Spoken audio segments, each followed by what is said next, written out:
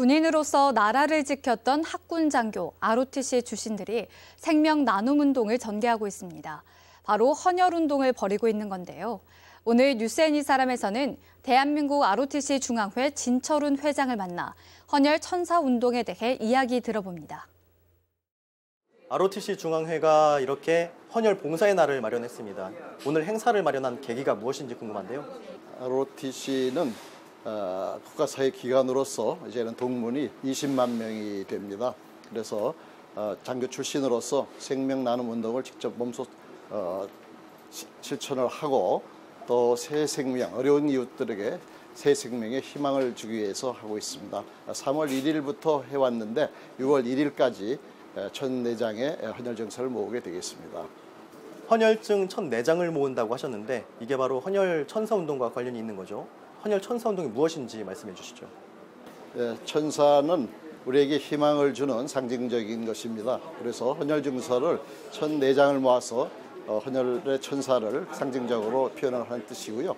어, 지금은 이제 각 대학별로 동기회별로 또 우리 ROTC 조직에서는 중앙의 봉사단에서도 또 헌혈 운동을 또 하고 있고 어, 또 헌혈 봉사 또 분과위원회가 있습니다. 그래 거기에서도 다 모아가지고 1,004장을 모으게 되겠고 또 저루방에 이제 동문들 특히 155마일에 있는 현역 군인들도 동참하고 있습니다.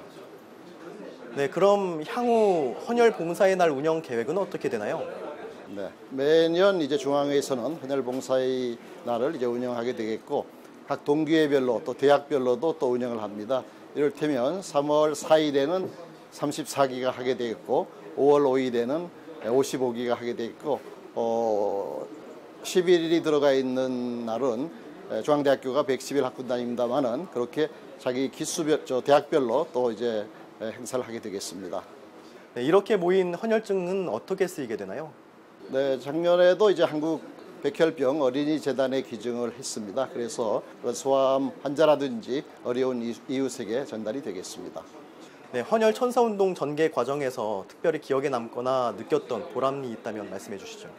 지난달에도 어, 산모가 애를 출산하다가 어, 혈액이 부족했는데 바로 어, 홍보를 해서 어, 생명을 살린 그런 보람 있는 일도 있었습니다.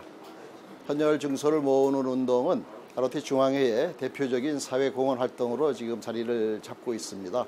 어, 그래서 동문들한테 이제 홍보가 되니까 500회 이상한 동문도 나오고 또 100회 이상 헌혈한 동문도 지금 한 15명이 되고 있습니다. 그래서 20만 동문에게 더 홍보해가지고 앞으로도 적극 참여하도록 하겠습니다. 헌혈 천사 운동에 참여할 수 있는 방법들 어떤 것들이 있는지 설명해 주시죠. 기수별로는 자기 기수에 맞는 날 지정된 날로 하면 되겠지만은 그렇지 않을 때도 가까운 헌혈센터에서 헌혈을 하고 ROTC 중앙의 사무국으로 헌혈 증서를 보내게 되면은 다 모으게 되겠습니다. 네, 앞으로도 사회에 이렇게 따뜻함을 주는 활동들 많이 부탁드리겠습니다. 오늘 말씀 고맙습니다. 감사합니다.